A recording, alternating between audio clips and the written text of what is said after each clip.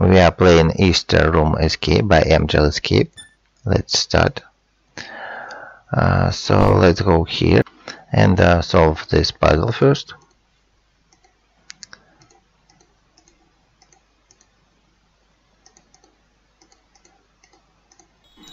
Uh, now we can see that this uh, rabbit uh, closes uh, ears, eyes and mouth.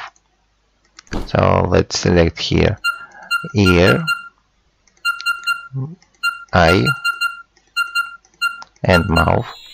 Uh, we've got the bottle, uh, so we can give it here to this rabbit and go to the next.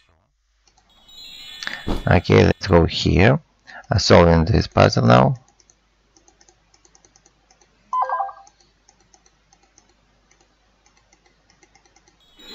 Uh, we have here four colors yellow green blue pink yellow green blue and pink. We've got an egg. And now let's uh, solve this puzzle. So here we need to find pairs for the tiles. Uh, cow pig uh, duck and uh, goat. Okay here we have uh, markers. So let's draw a hint here and uh, here you can see two numbers and the result. So the result is the first number squared multiplied by the second number. And here we have 5 and squared is 25 multiplied by 2 is uh, 50 let's enter 50 here.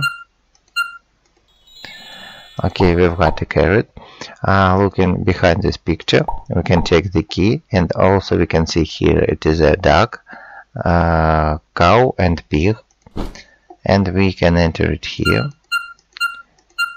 We have duck cow and pig. Uh, go into this room. We can open the drawer to get an an egg.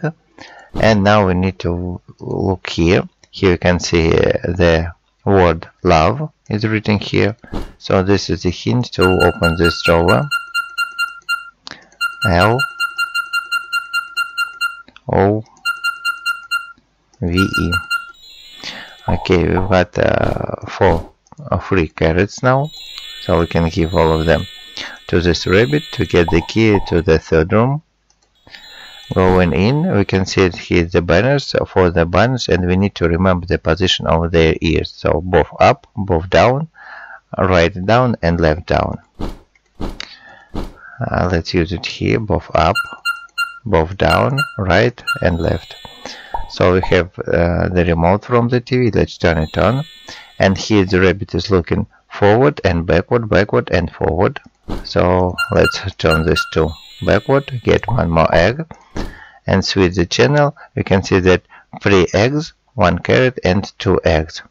So this is the hint to enter here. One, two, three, one, one, two. Now we have all the four eggs to give uh, to that rabbit and receive the key from the escape door. So if this video helped you, put likes, subscribe and bye.